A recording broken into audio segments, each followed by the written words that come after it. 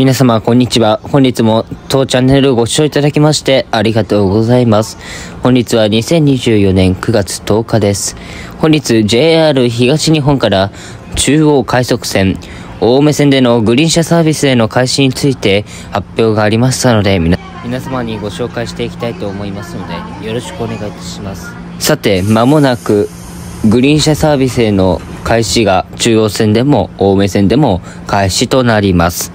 それに伴いまして9月8日より中央線の中野武蔵小金井間でタスクによる営業運転が開始されました。これに伴い209系1000番台2本と E233 系1本が運用から離脱してしまいました。この編成たちはタスクに営業、タスクへの対応をしないということで、タスクが始まってしまった中央線での走行が不可能になってしまったということから運用離脱してしまいました。グリーン車が導入、グリーン車が中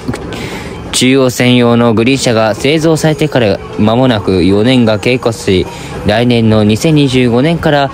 ついにグリーン車が開始、営業運転での開始となります。それに先立ちまして、中央線、青梅線で来月10月13日より、なんとダイヤ改正であります2025年春まで、なんと無料で中央線のグリーン車におたのお試しキャンペーンとして乗れるよっていう素晴らしいニュースが届きましたんで、皆様にちょっと提供しようかなと思いまして、今回このような動画を作らせていただいております。で、2025年の春以降の中央線のグリーン車サービスへの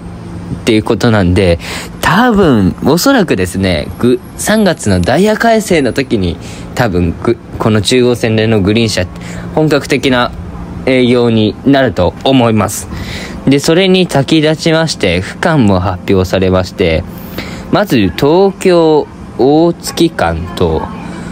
ですね、中央線は主に東京から大月で運転がされます。青梅線は立川から青梅ですね。中央線から青梅線直通する列車に関しては、東京から青梅っていう感じとなりますね。現在、グリーン車を組み込んで、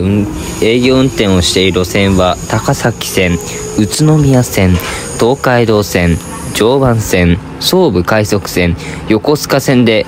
なっているわけなんですけれど、昔、高崎線、宇都宮線、常磐線がグリーン車を組み込んで採用する際も、このような感じでお試しキャンペーンというのがありまして、グリーン車を無料開放して、普通車として利用するよっていうのがあったんですよね。まあ僕、その時まだ生まれてなかったので、どういう状況かっていうのはちょっとわからないんですけれども、そんなことがあったということで、それが今度中央線も実現されるよう、ダイヤ改正までこういうキャンペーンがあるよっていうことで、まあ、素晴らしい感じですよね。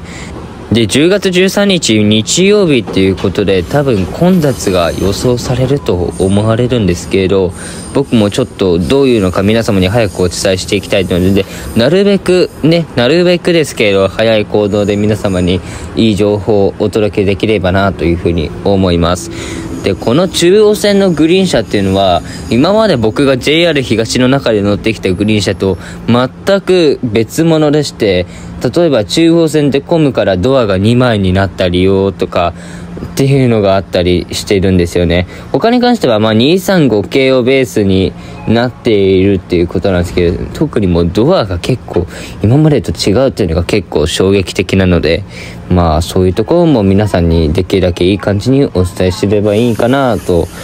思います。で、グリーン車サービスは10月13日以降、中央快速線、青梅線 E233 系電車で、東京寄りから4号車、5号車で、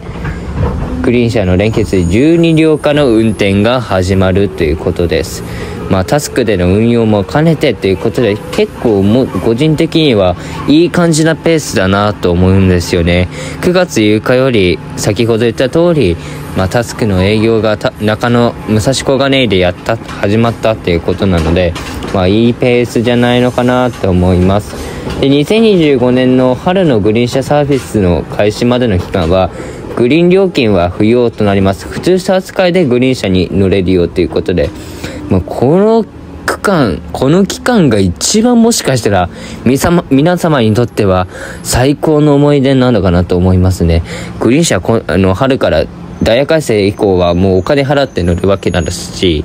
まあ、そのまでの区間は無料で贅沢ないい座席に乗れるっていうことで、こんなチャンスもう二度とないと思った方がいいと思うので、ぜひ皆様も普通車、まあ、鉄道に関係ない皆様とか、まあ、普通に、まあ、乗ってみたいっていうご興味ある方は、ぜひ乗ってみていかがでしょうか。で、これまでのグリーン車導入に向けた大規模講座によって、列車の運休とかでご迷惑をおかけする場合がありましたが、グリーン車の連結開始に向けて各駅の重入量化の対応部分を使用開始、位置、停車位置や乗車口の返品など、必要な準備を進めてまいります。引き続きご協力とご理解をお願いいたしますということなんですけれど、思ったのがまだ神田とかって終わってないんですよね、グリーン車の。授乳の丘の工事。なんで、まあ多分今月末までに全部終わらせるんじゃないかなと思われます。10月までにはせめて全駅終わらせないと厳しいんじゃないかなと思うんですけど、すごいですよね。お茶の水とかなんか、ホームがせないから大丈夫なんかじゃ、と思っ、最初から思ってたんですけど、まあ、無事できるっていうことが結構嬉しいです。で、まあ、オレンジの電車とかって結構ありますけれど、まあ、中国快速線は東京から大月間、青梅線は立川から青梅、もしくは東京から青梅で、まあ、グリーン車のサービスが提供されるということとなります。ということで、速報でちょっとグリーン車に対する中央線、青梅線の最新ニュースをご紹介いたしました。もう、残りもう1ヶ月ちょっとで、もう12両化が始まるんだなということで、ちょっと違和感がありますけれど、皆さんもぜひ、中央線のグリーン車乗ってみてください。ということで、ありがとうございました。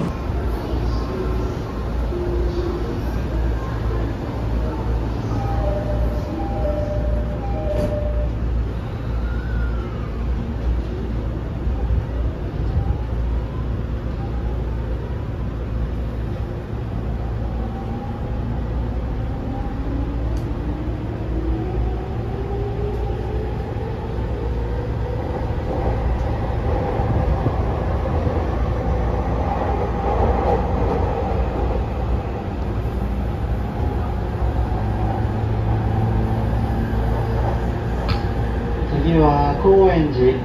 高円寺です。お出口は右側です。柳口停車、高円寺。